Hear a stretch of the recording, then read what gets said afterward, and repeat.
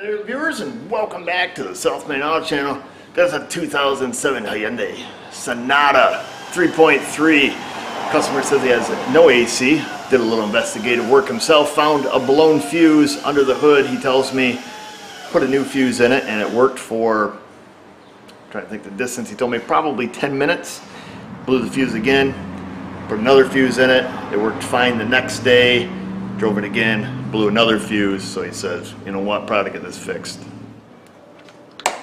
He said he left the blown fuse in it. He didn't replace it again because he was smart enough to know that if it blows fuses, there's gotta be something wrong.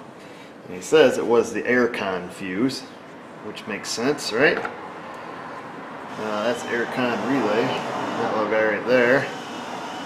We just gotta find the fuse, aircon fuse number seven. It's right next to that stud number seven. And he is correct. That fuse is smoked. And before people ask, these are called kiwi pliers.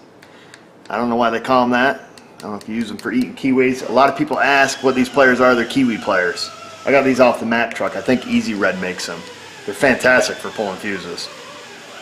On a side note, so I think what we're going to do is first of all, because he says the fuse does take some time to blow, we need to get a wiring diagram. And we also need Uh, so I went and grabbed us a 10 amp fuse. We're going to stick it in this fuse loop here. Now sometimes I'll run the amperage through my meter so we can monitor it to what it's doing. However, this is a 10 amp circuit blowing a 10 amp fuse and my meter is only rated at 10 amps so uh, I don't want to nuke that. So we're going to do this. We're going to use an inductive amp clamp uh, let's get a diagram, see what this fuse runs. I have my suspicions as to what's going on here. However, let's find out. That's probably a little bit of a hard diagram to read. Uh, let's see here. So here's our aircon fuse. Right there, 10 amp. This is the front corner compartment. This is the underhood fuse box. I was looking this up and uh, there was two aircon fuses, actually one inside too. So that comes down through the fuse box around town. It's going to go through the relay when that relay closes, out, oops, a little jittery here, down this wire, yeehaw, the connector, down through through another connector and straight into the field coil of the AC compressor. So that is a circuit. It can't not get much simpler than that. Single wire, doesn't appear to be anything else feeding off from it, uh, which is good, which would make sense, 10 amp, because uh, these are usually what an amp or two roughly um, probably yeah probably a smidge more than that. Maybe maybe three four amps on an average AC compressor at the most. So let's see what are our options? Uh, can it be a bad ground? No uh, because remember resistance goes up amperage goes down. So if we had a ground we wouldn't have a complete circuit so that can't be it. Uh, possibilities are essentially just a short you know, wire rub through on something. When the engine torques a certain way. Perhaps this wire is rubbing somewheres, spiking out the amperage. Or we could actually have the field coil that's starting to short, uh, particularly as it gets hot. And that's my suspicion because each time it's blown on them, it's after an extended period of driving. What happens when you're driving, different acceleration, the coil is on, off, on, off, on, off. Uh, definitely exercises it, and that is my suspicion. So we can either prove or disprove that. So we will use Vantage here.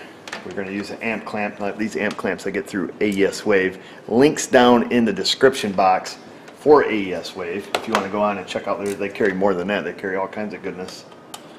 Like I say, use that link down in the description box if you're going to go over there and do some shopping. And that is also where, of course, you guys have seen this in a ton of videos my AES Wave test kit. And that is where I got that fuse loop too, but tons of front probes, back probes, wire piercers, fuse jumpers, variable resistor, all kinds of goodies in there. And a little sheet tell you what you know everything is. So check them out. Handy tool. If you have a meter and you work on cars, you can't go without this, trust me. I mean you can, but so we're gonna come down, we're gonna go to graphing meter, and we're to go to low amps. Should be less than 20. Hopefully it doesn't just blow the fuse right away, but it didn't sound like that was the case. So we'll zero this out, we'll stick it on. Whatever way we have it, it's going to be backwards.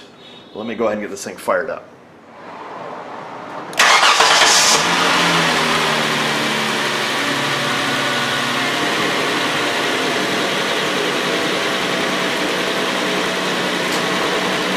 Holy smokes!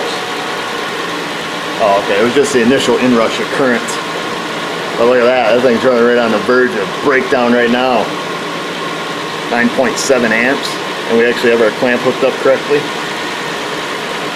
Miracle!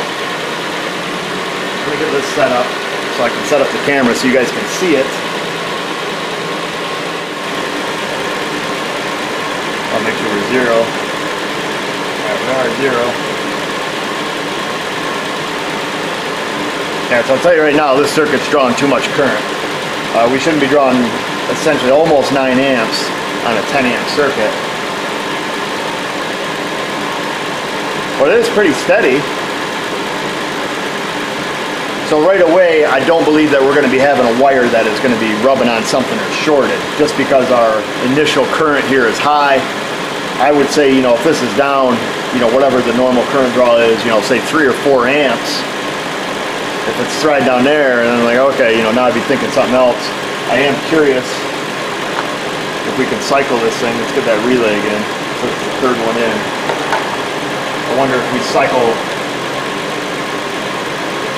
get this relay out here. All right, so that's the right relay. You see our amperage draw went right back to zero. I'm just kind of curious. Let's, uh, let's, like, well, let's change this time basis here a little bit. I don't want that to go so slow.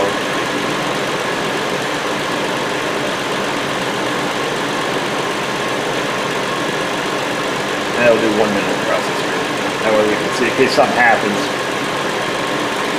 That's off, on.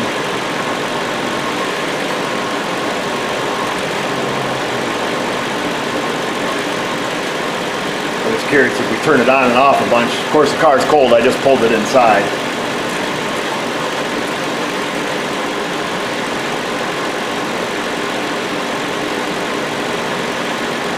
Might have to let that coil get a little bit hotter. I'd like to see see it fail more than it already has. Like I say, I'm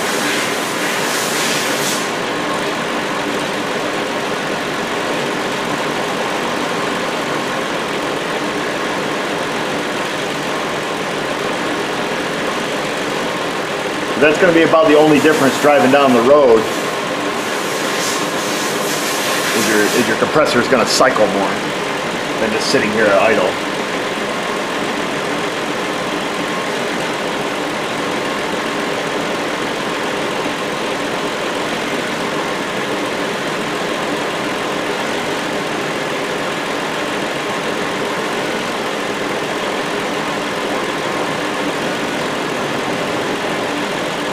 Tell you what, I'm going to let this run for a little bit. I'm going to see if I can find us a compressor field coil spec for this car. Because knowing the amperage and the voltage applied, we can calculate the resistance of it and perhaps get a answer. It's going. It's going. It's still going. 13 amps. Got a good little fuse there. Going.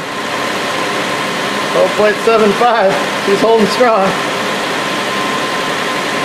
That's a really good 10 amp fuse. Almost 13. 13 amps.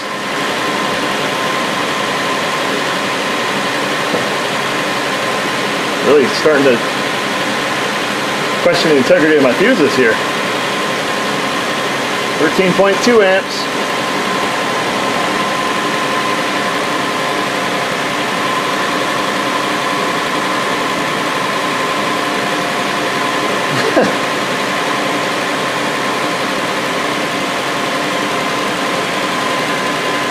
Obviously we are way over amperage. 13.2 amps on a 10 amp circuit. Let's not open the fuse. Those are Littleman fuses, just FYI. And it is pulling 13.2 amps. Let's cycle it some more here. There she goes, 13.5. 14. And it is gone.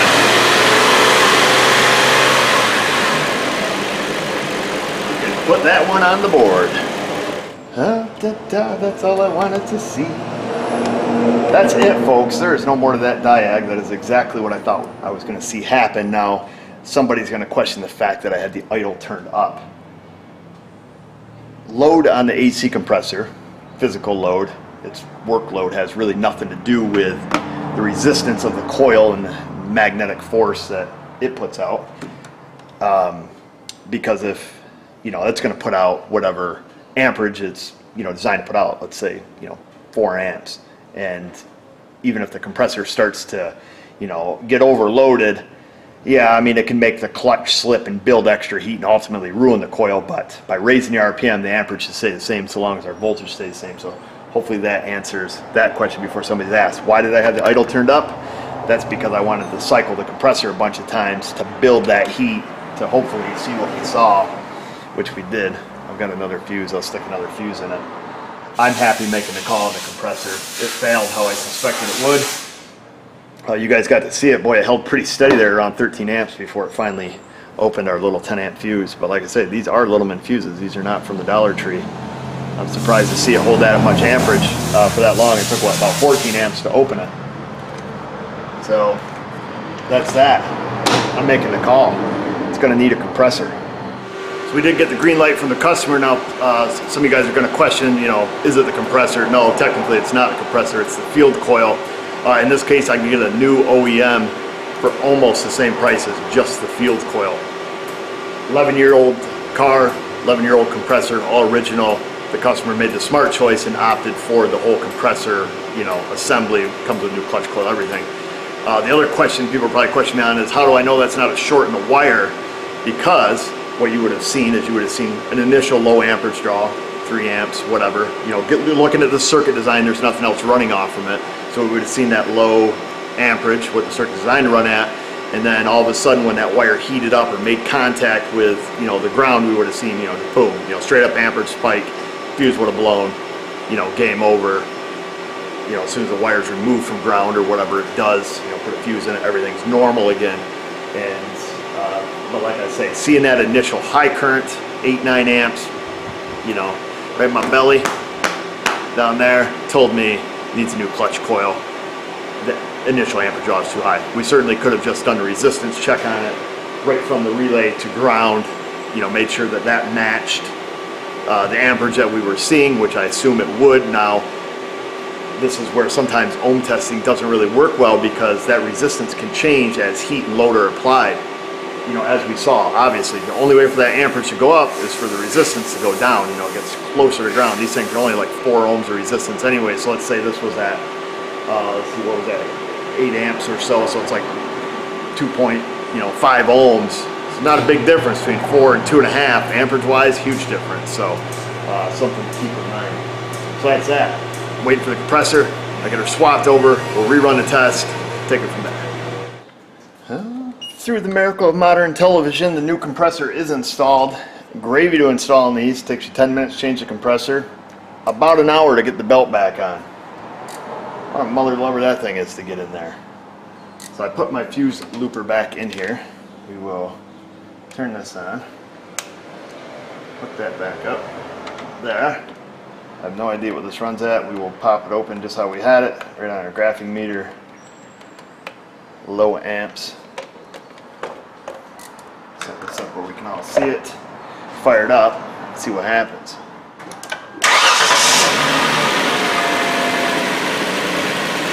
And better make sure I got the blower. Do the blower is on. And there it goes, it just kicked on. Three points, 3.27 amps. Hopefully you guys can see that. So now you can see why we made the call we did, essentially just based off the amperage draw. Uh, I guess we could kick it on and off like we did the other one. It should always come back to the same here. Little big spike when it turns on. Kind of a slow build up as that coil saturates.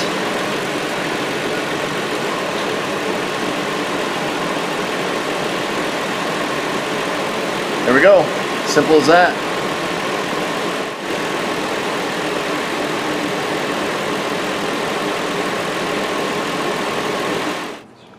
So if you want to get a smidge nerdy with it, we have Ohm's Law, at least the way I write it out because it makes it easier for me to remember. We can look at our original AC compressor, which I'm guessing on voltage. Let's say we're at 14 volts because the car was charging.